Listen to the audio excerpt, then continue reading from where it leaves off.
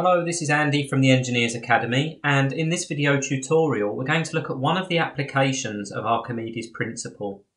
Now on the screen here we have a sketch of something called a spar buoy and spar buoys are used to provide floating foundations in offshore applications. As we look at that spar buoy, in the bottom we have concrete ballast or we have something heavy and the reason we have that ballast there is that it will minimise any movement when there's waves or when the sea is choppy. It's almost like having a counterbalance at the bottom of the spar buoy. What we also notice in this diagram here is that there's a cable with a tension F supporting the mass or the weight of the spar buoy. So as it stands at the moment, if we were to remove that force, the spar buoy would sink because it's heavier or it has more weight than the weight of fluid that it's displacing. Underneath the diagram, I've just made some annotations there. MS represents the mass of the spar buoy and we'll treat that as the mass of the spar buoy when it's filled with water as shown in the diagram. So I'll just make a note when full.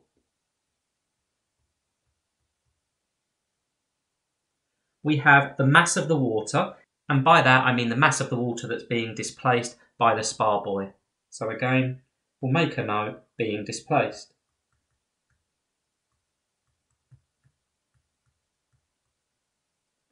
And finally, I have mw slash s, which is the mass of the water inside the spar buoy. So if we look at the scenario as it's displayed there, if we wanted to work out the tension in the cable F, then what we would need to do is we would need to do a static equilibrium balance. Note that F is a force and not a mass. So what we would need is we would need the weight of the spar buoy, and the weight of the spar buoy would be acting downwards and we'll call that WS in keeping with our notation for masses. But also acting on that spar buoy would be an upthrust. So again, we'll mark this on. We have an upthrust, U, and the upthrust results from the weight of fluid displaced.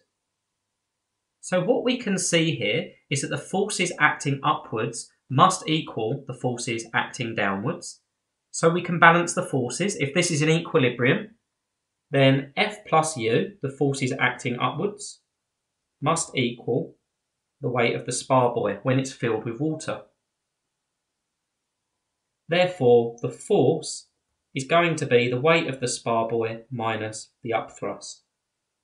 Well, in the context of a question, it's likely that the mass or the weight of the spar buoy would be given. So what we can write here, instead of WS, is we can write the mass of the spar buoy times gravity. Recall that weight in the top left corner is just mass times gravity. And the upthrust is equal to the weight of fluid displaced. Well, the weight of fluid displaced is going to be the mass of the water displaced, again multiplied by gravity. And depending on the context of the question, we might be given the volume of the spar buoy and the density of water and so on. But we can work out the mass of fluid being displaced and we can work out the weight of fluid being displaced, providing we've got sufficient information.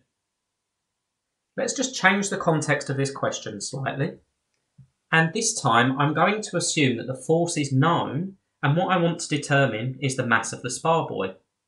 So again, we'd need to do a force balance because acting downwards, we've got the weight of the spar buoy and acting upwards, we've got the upthrust due to the weight of fluid displaced. So my force balance is the same as before. The forces acting down equals the forces acting up. So I would get the weight of the spar buoy equals the force or the tension in the cable plus the upthrust caused by the weight of fluid displaced. And we've already said that weight is mass times gravity. So what I would have is the mass of the spar buoy times gravity equals force in the cable plus the upthrust, which we've got various different ways of calculating. And therefore, the mass of the spar buoy could be found using the force in the cable, or the tension, plus the upthrust divided by gravity. And that would give us the mass of the spar buoy when it's filled with water. So there's numerous different calculations we can do, providing we've got sufficient information. So let's change the scenario once again. And this time, the spar buoy has been emptied. What we've effectively done is we've pumped the water out of the spar buoy. What that's going to do is it's going to reduce the mass of the spar buoy and therefore it's going to reduce the weight of the spar buoy. It's going to make it more buoyant in effect. We still have the ballast in the bottom to provide stability. And what we want to know is that if this system's in static equilibrium, what is the mass that we're able to support when the spar buoy is emptied? Now, because we're dealing with masses this time, if the weight equals the upthrust, then the mass acting downwards must equal the mass of fluid displaced. I'll just state that again. If the upthrust equals the weight acting downwards, and it must for this system to be in static equilibrium, then that has to be the same as saying that the mass of water being displaced equals the total mass acting downwards. That has to be true in order for the upthrust to equal the weight acting downwards. We could have written the weight of water being displaced equals the total weight. And we know that the weight of water acting downwards is the same as the upthrust acting upwards. So U equals W total. But let's go back a step and work with our masses instead of our weights. And if we're trying to find that additional mass there, what we need to do is we need to break our mass total down into each of its elements.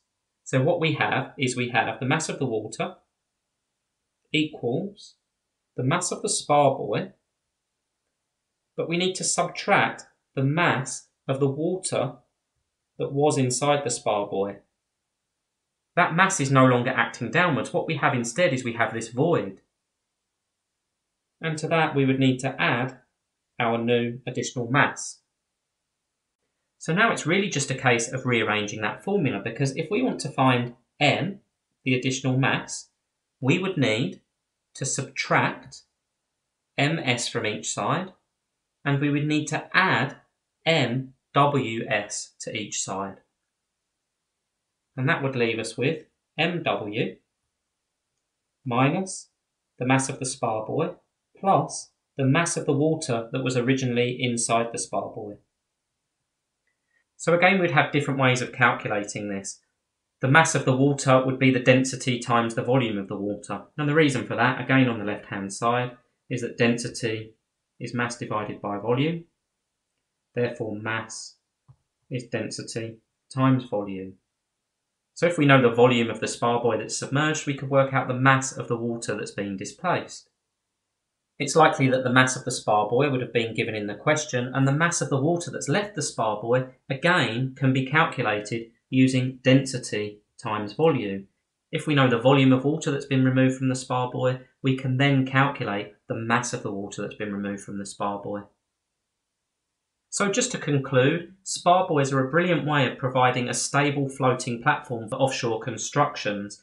And the reason why is we can position them whilst they're filled with seawater, and then what we can do when we want to apply the load to them is we can pump out the seawater, which is in effect going to make the spar buoy more buoyant. A couple of other important takeaways from this is we can balance masses using Archimedes' principle, or we can balance forces, but the important thing is not to mix the two, and always to be clear whether you're working with forces or whether you're working with masses.